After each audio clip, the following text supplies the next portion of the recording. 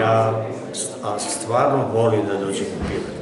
Nekada sam malo češće dolazio, a sad kad sam u penziji, ovako samo prigodnim datovima, a večerašnji je baš lepo. Ja se sećam tih ljudi, sa nekima sam radio, neke sam gledao, to je bilo vreme, ovaj, tad još, a, tad je Pirotsko pozorište imalo malo glumaca, manje nego sad, ali je imalo i stalnog reditelja, što je jako neobično. Žika Mitrović je bio stalni reditelj u Pirotskom pozorištu, to su bili Vida, Bosa, Dragica, je bio Aca Lisa, bio, to je bio sjajan glumac koji je, nažalost, otišao, bavio se drugim poslovima, inače je on važio za jednog od boljih glumaca u Srbiji. I još dosta kvalitetnih glumaca. Pirot je bio poznat po tome što smo ga svi u Srbiji, tada je postojala, nekad je postojala samo jedna akademija u Beogradu.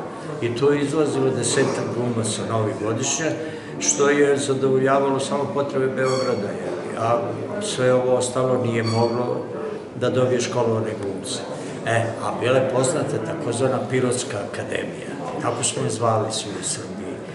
Ovaj, ovde su počinjali mladi glumci, ostajali nekoliko sezona, odlazili u veća pozorišta i nosili repertoar tih većih pozorišta Boga.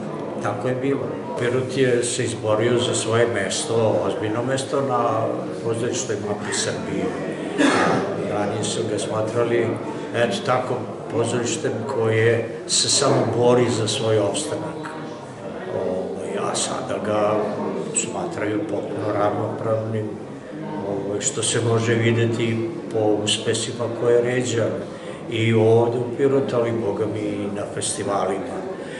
Ovi mladi ljudi koji rade sada u Hrvatskom pozorištu su uglavnom svi školovani, dobri glumci i poznati su po tome što se bukvalno predaju svome poslu, daju se bukvalno do daske i po tome su najpoznatiji. Svi mi pomalo tako izigravamo nešto, jel da, ovaj, a oni sebe daju i ulažu posao ono, do krajnje granice.